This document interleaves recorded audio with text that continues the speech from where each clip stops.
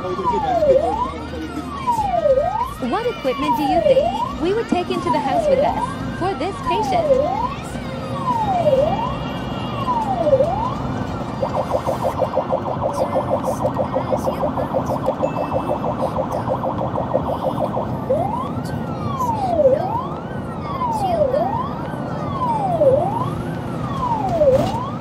This is the equipment we would initially take with us from the ambulance.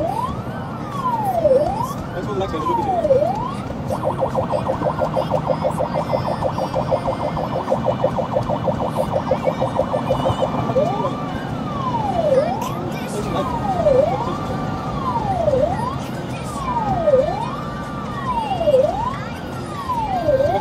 now it's open to the guys.